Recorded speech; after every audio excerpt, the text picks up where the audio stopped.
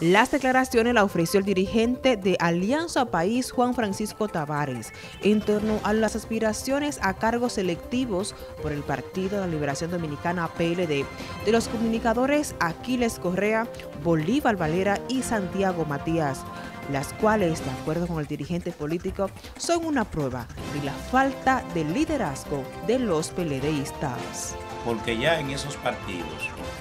no está presente la, la tradición, actitud de un político que es de servir desde ella a la colectividad. Ese afán que tienen sujetos que no tienen ni tradición política, ni conocimiento de la política, es porque la política ha asumido, lamentablemente, o está transitando por un camino de circo. Porque imagínate tú, ¿qué le puede aportar a la política y a la ética política esos comunicadores que usted lo ve hablar y lo escucha decir lo que dicen y usted sabe que está en presencia de personas que no tienen la más mínima cultura política y cultura general para desempeñarse de manera mínimamente adecuada en el Congreso o en cualquier otra posición.